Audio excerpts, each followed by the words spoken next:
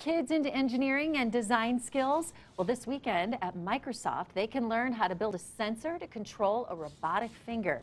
Ashley Moretti and Lindsay Hoffman from Microsoft Lone Tree are here with more. Hi, ladies. Hi. I love the science for the kids. Yes. So tell me what we're making here and what you're going to be doing this weekend. Yeah, so we do all of these really cool hacking STEM where it's STEM related items all made out of household stuff. So you've got tape, copper tape, wire, a little bit of Velcro strips, um, and we get to build out Turn a that hand around. right here. Look at that.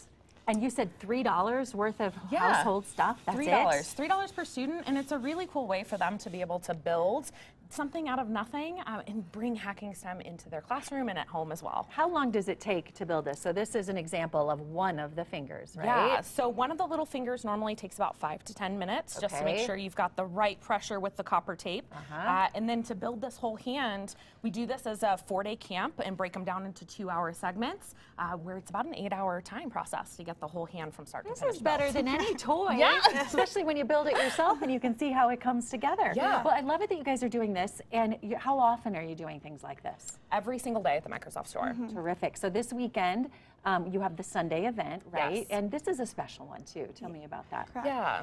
Pajamin for Kids with Cancer um, is a signature American Childhood Cancer Organization event where we all wear our pajamas to stand in solidarity for those kids who are fighting cancer and wear their pajamas months at a time while on treatment. it. Yeah. So on Sunday, we're having a pajama party in our store. It's free for all who want to join us, and we're going to be there raising awareness for childhood cancer. And you're making this as well yes, with those this kiddos? is one of the activities that you can be involved in if you come to our event. I love it. Thank you. Well, we thank you for coming in and showing us this. I think my nine-year-old son would totally dig Yes, this. yes. I got to bring him into the store. So thanks for what you're doing to help the community as well. And by the way, we want to give everybody that information as you continue to play uh, there.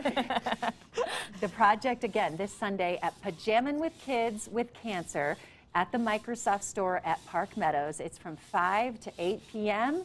Again, at the store there at Park Meadows Mall. You can find more information in the on TV section of our website, kwgn.com. All right, we've got a lot still to come.